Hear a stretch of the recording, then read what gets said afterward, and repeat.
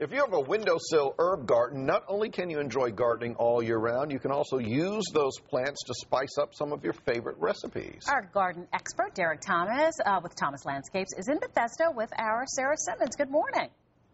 Well, good morning, Allison and Tony. I know it's funny. We talked to Derek when we're talking about plants and how to make your garden grow. We're actually baking today, which this isn't such a bad change. I kind of like this. It's, pretty cool. We're, we've we've put down the pruners for the day. And we're bringing out the measuring cups. Okay, so what we're doing today is we're talking about how, you know, your herbs that you can keep inside during the winter. We can actually use these to make cookies, ice cream, and even use them in drinks. Yeah, well, absolutely. I mean, you know, one of the things that I like to do in the summertime and in the wintertime is a passion lemonade and then add a little bit of mint to that. Mm-hmm. You can take some of that mint and put Okay. it in there. Basically, you use any uh, passion tea that's available on the market, and you do it at full strength as they recommend. And I like to mix in some lemonade with that. There's a great uh, lemonade that's available now that's a 50% lemonade, so I'll mix that 50 50. And what we will then do is you can take that, I think that's good. We've crushed the herb. Uh, that's, mutilated that's the mint, basically. right? Take and spoon a little bit of that into our beverages. And, you know, we've got a great passion lemonade mint beverage.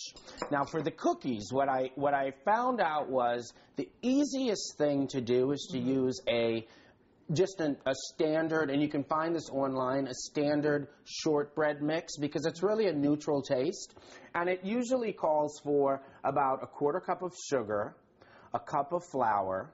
You use some baking powder, um, about a couple of teaspoons of honey, and about a quarter of a teaspoon of salt, and then three tablespoons of butter. And then you kind of change it up from there, w- adding ingredients. Right. Now that's where we get crafty because you know, you can bring your herbs in during the winter. And what you want to do is kick it up a notch and go ahead and with with like for instance there is a recipe that calls for the the rosemary. Mm-hmm. And you know, you want to go ahead and chop that rosemary up. And once you've done that, what you want to do is I like to get a reduction going of the rosemary. Mm-hmm. So It what you great, it- too. it, it really does. And what that does is, is with your mix, you want to take the rosemary and add that in. And what that's going to do is that's going to give it a really nice flavor. And you'll mix that all together with your mix. You're going to put it in the oven and you're going to bake it mm-hmm. about 25 minutes on 325. And these cookies smell wonderful, by the way.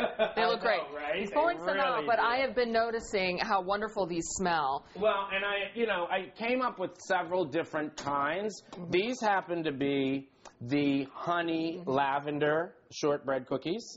We've also got, and you can use either fresh herbs or if you're not if you're not growing them on the windowsill, you can use dried herbs. And everybody's just about everyone has dried rosemary in their in Right, the cupboard. in the, in so- the cupboard. But the fresh herbs give you a better taste, and you can also do the reduction. Mm-hmm. Then also with the mint, I was able to find the mint available. So what we've got here is the raspberry cookies, and we're going to have our beverage. We're going to have a little bit of ice cream. This is a great ice cream that's locally available. This it's a honey lavender. This one. We're going to go ahead and take, let's put a lavender cookie in there for each of us, Sarah.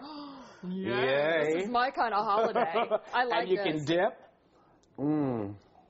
And enjoy. There's just so much going on. Nice This warm is- cookies, Well, guys. and you've got the lavender with the lavender ice cream. It's Uh-huh. absolutely divine. Thank you, Derek. Mm. Back to you guys.